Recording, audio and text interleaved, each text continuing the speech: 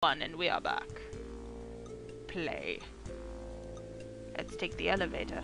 You push your hand against the elevator door, but it does no good. There's no buttons nearby to push. Feels like a clock. God grumbles. Is that like a bin thing? Yes. Have a look at the bin. No. Alright, well, since the staircase is presently being renovated, you aren't able to use it.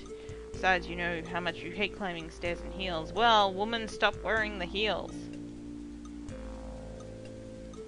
Feels like a plant. Feels You should just take off her shoes Seriously. and her dress while she's at it.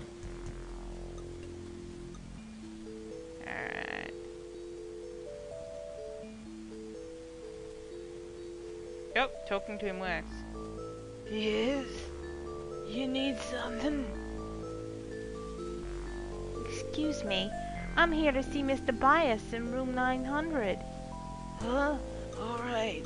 Just give me a second to make sure he's in. Hey, dude, are you in? I got the munchies. Okay, honey. He's waiting for you upstairs. I'm calling the elevator for you right now. I've gone to sleep. There you go, Betty. I didn't catch your name, but I'm calling you Betty. In my dreams, you're called Betty. No.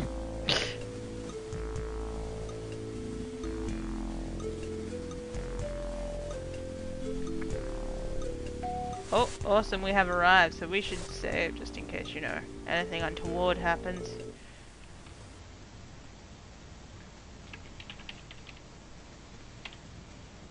Patti, Patti, that works. Alright. Let's have a little look around his office. This sculpture represents the patron saint of recording companies, Saint Needle. Ah. This transducer converts electrical waves into rapidly pulsating sound waves. This waiting room is filled with an impressive array of recording memorabilia. The office shelves are filled with record tapes and books. This is your man, Mr. Rivers Biaz, chief engineer of Des Record, Rever Records, and the man you've been set to investigate. A speaker crackles in the background. Ah, you can do Mr. Bert Baez. Ah, am I doing reverse bias? Okay. Hello out there. You must be Passionate Patti. Everything's all ready for your cut-in session. Just come on into the studio. I'm waiting for you. I bet you're waiting for me.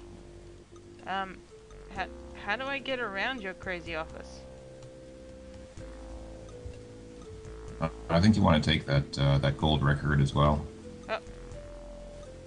Maybe, or do you have to do that afterwards? you go. I don't Wriggling the golden, the gold record of its class. You remember it's loose enough to be removed. So you do. You've wanted to have a gold record ever since you began playing professional at age 13. But you never dreamed you'd get it like this. Keep going, Patti.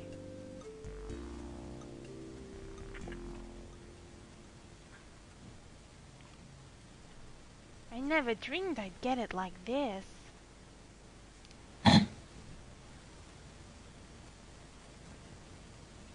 Uh, there we go. Des Rever Records recording studio reminds me of, of your old last studio session. A big 2 CD recording of background music for the computer game Leisure Suit Larry 4. And that big contract you signed with mysterious someone only known as Julius, who never paid you one red cent for any of your work. You grimace and silently hope this session goes better.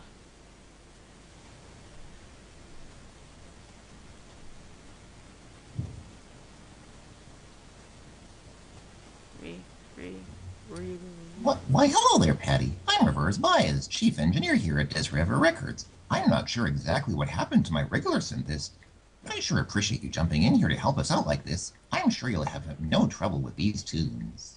I never have trouble with any tunes.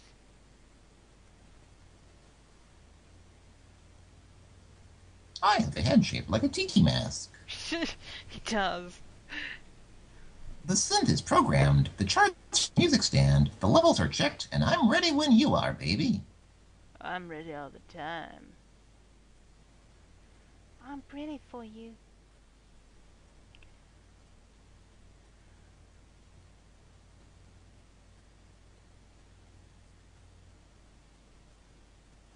Okay, Daddy, just read the chart there on the stand. We'll take it from a few bars before your entrance. Listen for the clicks, then cut in your solo.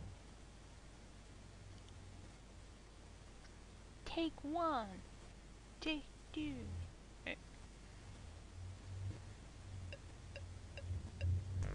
Oh, take one.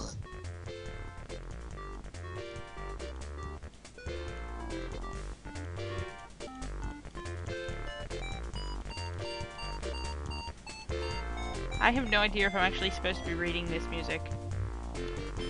Um, yeah, that could be a little bit. Uh, uh, trying to play it with that mouse cursor could be a little bit challenging.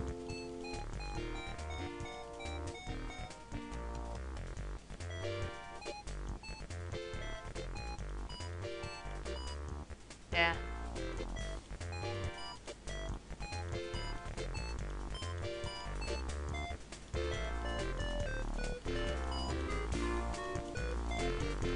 You're the scat man, Patti, just doing anything. Oh. Did he like that? I don't know. It just popped up and disappeared. Oh, apparently not.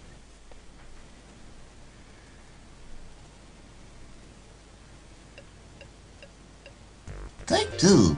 Oh, what? The first take was perfect. We don't need a second take. I know, like, seriously.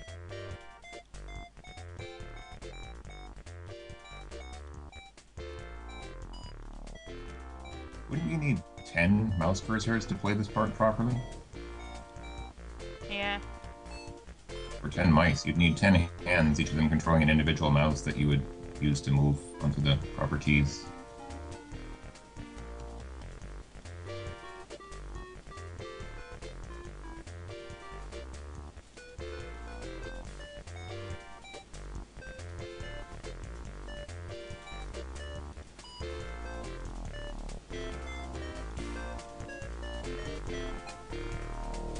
Did he like it? Let's see, what did he say? What did he say? Well, that's Sally outside. Let's give it one more shot, babe. Here we go. What? Is it a good thing if it's outside?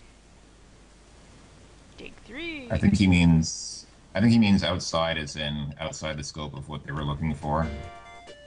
Oh, she's taking it. Oh, all of a sudden her playing got way better. hey.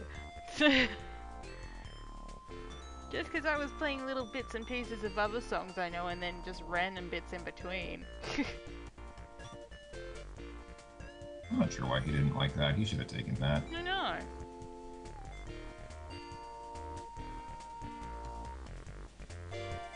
I gave him such Broadway hits as, uh, why would a fellow want a girl like that? And, um, Once Upon a December. Come on. I mean, that's classy. But he is not. He did not recognize it. No, I suppose not.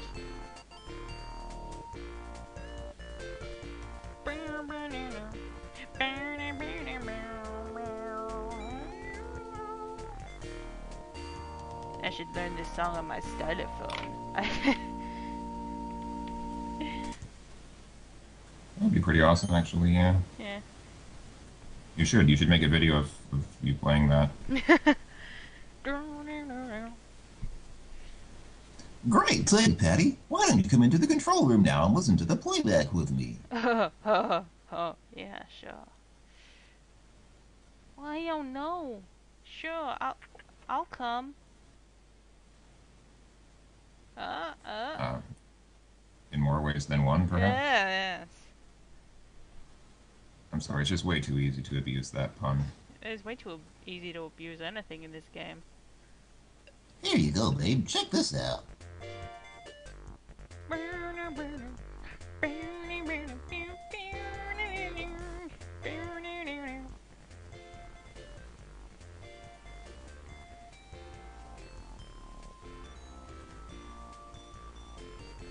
Nice playing, Patti. I bet you have wonderful technique.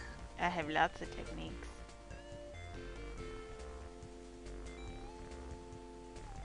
Oh, we're out of time actually. So, I'm going to pause it here and we will come back with uh, revised Baez and Patti. Mm, yeah.